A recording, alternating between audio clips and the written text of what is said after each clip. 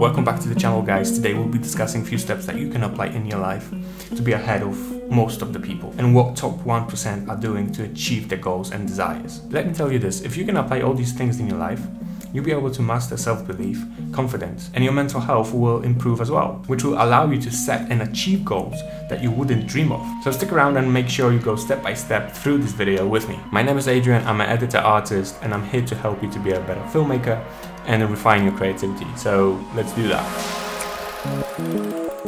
I talked about belief in a few of my videos now, but I really think that this is one of the most important skills that you can develop, not only as an artist or filmmaker, but as an individual as well. Having strong belief in yourself or what you're trying to accomplish or do is so fundamental in our journey. Without belief, most of the people who are successful right now won't be in that place. To be better in believing, you have to split this into two sections self-talk and self-trust. Self-talk is all about having opinion about ourselves, how we perceive ourselves and how our inner voice is shaping our behavior. Self-trust, from the other hand, is all about being clear with ourselves, doing what we believe is right, being honest with ourselves, and doing what we're gonna say we're gonna do. That's a lot of information. But to summarize this in a few words, you have to be clear about your goals and what you want, what you're willing to do or not do. Doing what we believe is right is about following your inner compass and finding the path that is true to you. Being honest is about self reflection and getting to the truth of what you really think,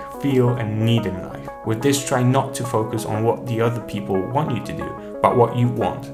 Do what you say you're gonna do. This is about saying and learning to say no, and being able to set boundaries so that you can achieve your goals. Sometimes it doesn't really matter if you're knowledgeable about certain topic or not. Learning is a part of the journey and you can learn along the way. But at the beginning, it's important to be confident in what you know even if you don't know a lot. So why confidence matter? Well, it matters because our world is constantly changing, especially now with social media and how quickly we can consume enormous amounts of videos and pictures. And what I found out throughout the years, the more social media you consume, the less confident you are. But why confidence matters? It's because confidence creates certainty in uncertain situations. People with confidence can handle conflict better and they can create compelling future for themselves. That's why I think being confident in yourself and your abilities is so crucial especially when you're trying to be a filmmaker or an artist. Creative people are often shy and not confident at all in what they're producing or creating. Confident artist or filmmaker is so much more effective and dangerous in producing art, simply because they are so much more certain about their abilities. Of course, the other side of being confident is being shy and this happens to all of us. When I was in school, I was a really shy person, but when I started college, everything changed. Having the most amazing art teacher changed me and the way I approach life and art. He didn't teach me art, he taught me how to be confident and believe in myself as a person and as an artist. Not all of us have teachers or mentors in our lives, but we can definitely teach ourselves how to stop being shy or be less shy. I think in most cases, shyness is all about accepting yourself. Most shy people think that they are just not good enough or that something is wrong with them, or even that they will be rejected if they act or say something wrong. And for sure, I, I felt that way in most of my school days. But what I personally did to overcome my shyness is I changed only the word shy into quiet. Being quiet is so much different than being shy. People who are quiet are able to analyze the room and people around them first and are able to gather all the information before speaking and sharing their opinion. So it's so much better to be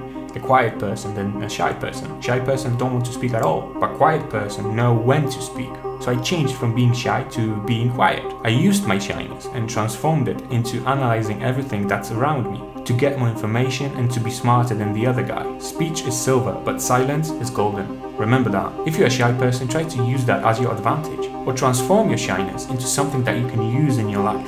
This next thing is even hard for me because I used to and still do overthink things. And what I would say is don't dwell too much on your decisions or the things that you want to do. Yes, we have to sometimes analyze and calculate the things that we want to do so that we can make better decisions. But these things shouldn't take more than, you know, an hour or two or even a day or two. Over analyzing can easily transform into procrastination. And the more we analyze certain decisions, the more time we can waste. For me, overthinking very often can lead to trying to be perfect with my videos, with my editing, with my art. That can also lead to spending so much time on just one video. Of course, there's nothing wrong trying to be perfect, but you have to be aware that there's no such such thing as perfection. Yes, we can try to be precise and don't make mistakes, but don't let perfection or overthinking drag your projects or decisions that you have to make. Many people say that good enough is better than perfect, and I agree with that to some extent. It doesn't mean that you can't strive for perfection. Every good enough step will lead you to be closer to perfection. So don't just be good enough.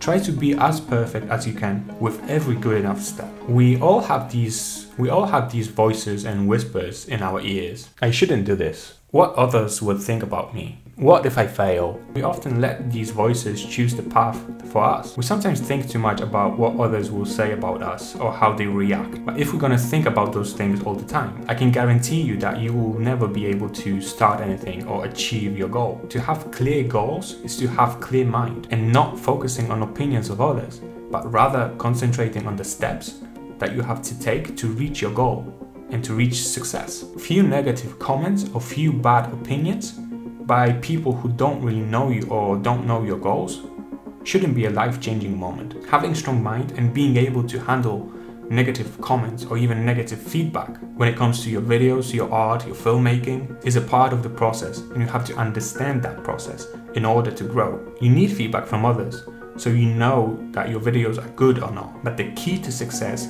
is how do you handle that negative feedback? There are two ways to do that. The first one is you can totally ignore the negative feedback and don't apply anything.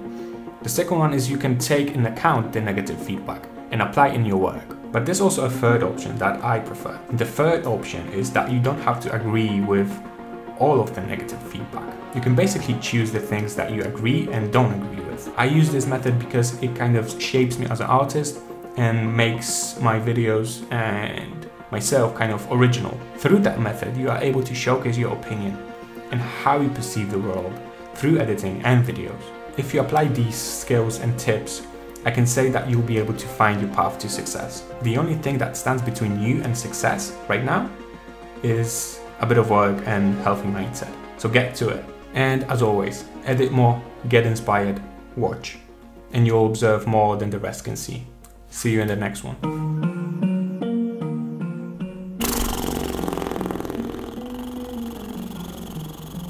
My name is Adrian and I'm here.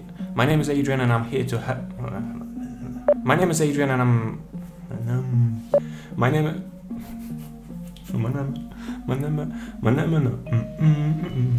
No, no, no, no. No, no, no, no.